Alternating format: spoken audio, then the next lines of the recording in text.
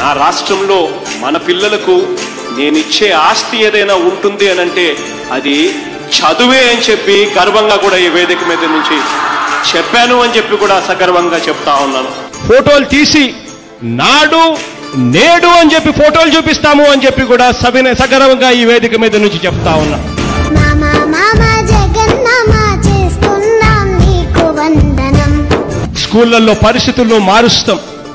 ఆ స్కూళ్ళల్లో బాత్రూములు లేని పరిస్థితి ఆ స్కూళ్ళల్లో నీళ్ళు రాని పరిస్థితి ఆ స్కూళ్ళల్లో ఫర్నిచర్ లేని పరిస్థితి ఆ స్కూళ్ళల్లో ఫ్యాన్లు తిరగని పరిస్థితి ఆ స్కూళ్ళల్లో కంపౌండ్ వాల్ లేని పరిస్థితి ఆ స్కూళ్ళల్లో బిల్డింగులు పడిపోతా ఉన్న పరిస్థితి ఫినిషింగ్ లేని పరిస్థితి పెయింటింగ్ లేని పరిస్థితి.